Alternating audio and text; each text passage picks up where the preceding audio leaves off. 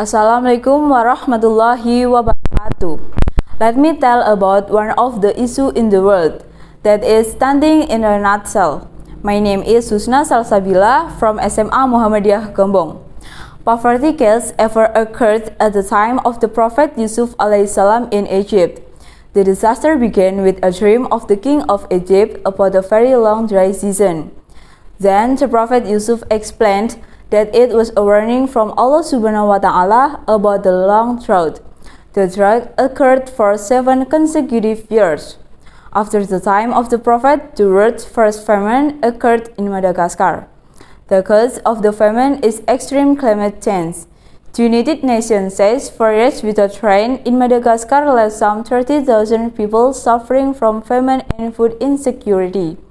The number of victims is expected to increase dramatically when Madagascar enters the famine season before harvest time. Residents in southern Madagascar were forced to eat wild leaves and locusts to prevent starvation after successive droughts and sandstorms damaged their crops. What they do can cause health problems if it done continuously. Massive famine in Indonesia occurred in 1830 since the enactment of the cultivation policy. These cases continued to increase, especially during the economic crisis in 1930. As a result of the famine, it caused health problems and malnutrition, not only for adults but also for children and toddlers. India is the country that occupies the highest position in stunting cases in the world. Indonesia itself is in the fourth place globally and is in the second place after Myanmar among Southeast Asia countries. Based on data from the World Health Organization, Indonesia is currently in a state of stunting emergency. Stunting in Indonesia is a threat to the quality of the next generation. In 2013, 37.2% or 8.9 million Indonesian toddlers suffered from stunting. 31.7% of school-age children and 20.2% of infants with short birth length. Even stunting cases in Indonesia reached 30.8% and in 2019 decreased to 27.67%. However, this figure is still higher than the maximum tolerance for stunting set by the World Health Organization, which is less than 20%.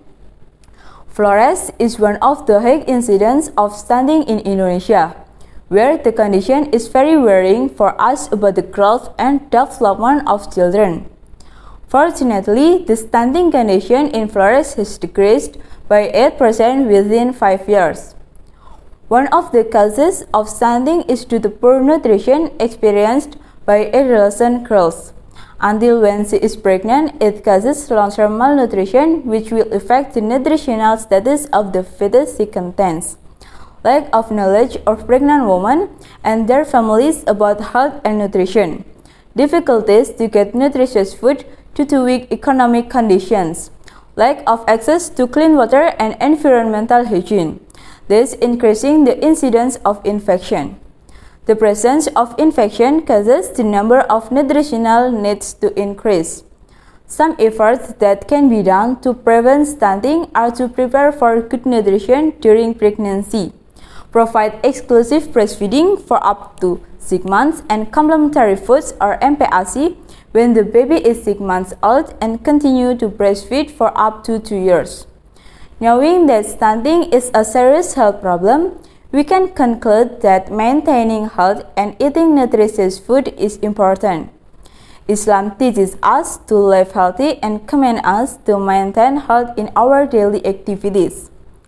A healthy Muslim will be able to worship Allah Ta'ala to the fullest, because the purpose of human lives is only to worship Allah. Every blessing that Allah has given us is obligatory for us to be grateful for. In the noble hadith above, the Prophet Muhammad wasallam explained the importance of healthy blessings. One way to be grateful for healthy pleasure is to maintain the healthy pleasures themselves. In the Quran, there are many verses that imply the command to maintain health, among which is the word of Allah Ta'ala. A'udzu billahi rajim. Bismillahirrahmanirrahim. Wa kullu mimma razaqakumullahu halalan tayyiba. Wa taqullaha antu bihi mu'minun. And eat from what Allah has given you as a lawful and good provision. And fear Allah in who you believe. Surah Al-Ma'idah verses 88. Thank you. Wassalamualaikum warahmatullahi wabarakatuh.